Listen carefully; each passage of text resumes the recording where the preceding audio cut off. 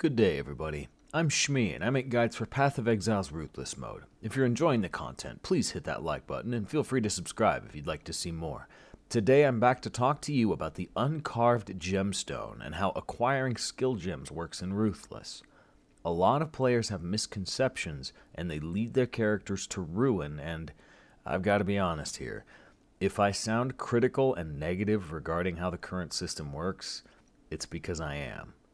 This system is one of two reasons I tell people to consider Ruthless as though it were in an open beta that will experience significant revisions.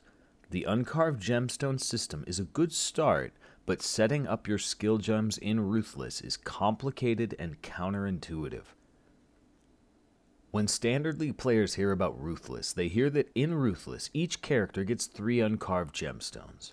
They hear that these are wild cards that can be traded to Siosa for any skill gem, and since you get three of them, many players will assume you can easily trade these uncarved gemstones to complete whatever build you wish.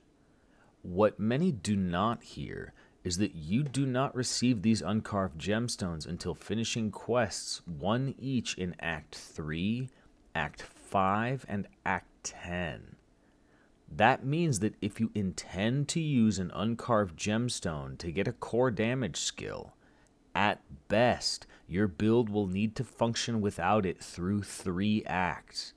Imagine the first three acts as a non marauder melee without heavy strike, a non witch caster without fireball, or a bow shadow without literally any bow skill. In a bizarre and convoluted way, the worst possible way to start playing Ruthless is by creating the character that you want to play. Instead, how you should start is by deciding which core damage skills you're going to be using and then creating mule characters to obtain all of those skill gems. The most obnoxious example I can provide is the character that I'm leveling up right now. He's going to be my deep map pusher. It's basically Toxic Rain, except I want to try it with Rain of Arrows instead. And to be honest, the builds are so similar that if it doesn't work out, I'll just flip him back over to Toxic Rain, and I've got the extra skill gem to make it work. But you see, this build is strictly superior as a shadow, but shadows do not receive any bow skills as quest rewards. In order to play this build, a character that makes perfect thematic sense. It's a poisonous rogue bow user. Why wouldn't a shadow be able to do that? In order to play this character, you have to create a ranger and take her all the way to the Cavern of Wrath. It took me about 40 minutes just to farm up the skill gems required before I could start my real character.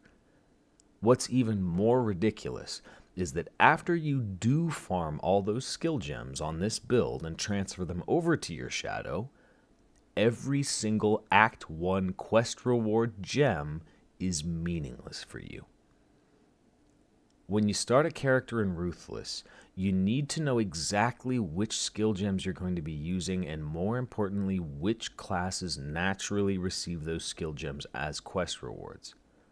The good news is that for the vast majority of builds, you're going to get most of your skills from your main class, and you'll only have to farm one or two other essential skills on a mule.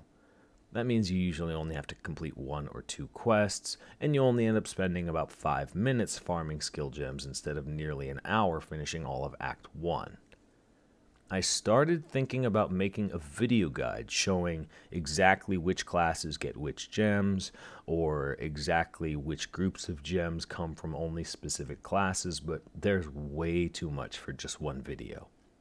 Instead, I'm going to suggest all of you use the same source that I do. It's actually a public Google Doc. It was created a couple of patches ago by a fellow exile by the name of ShakCentral.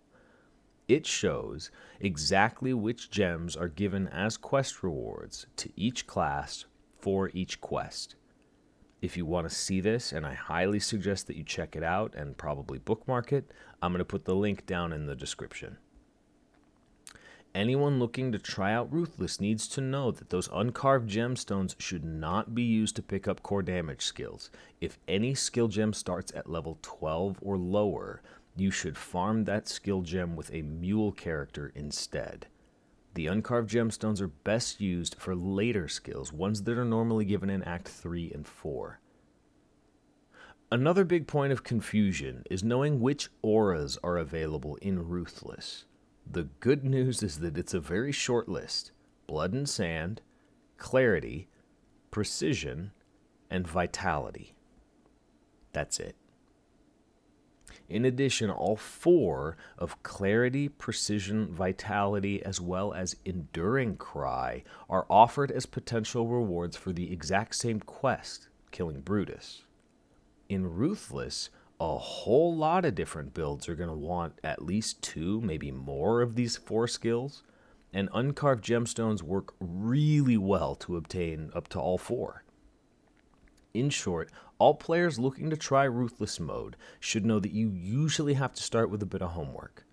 Playing a build in Ruthless typically requires that you farm up some skill gems on a character first.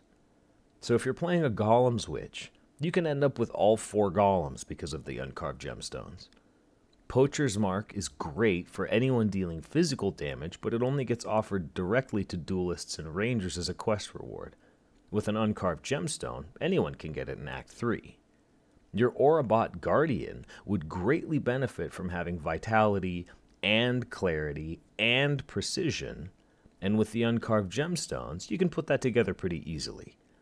But please do not start Ruthless mode with the intention of using uncarved gemstones to obtain low level damage skills.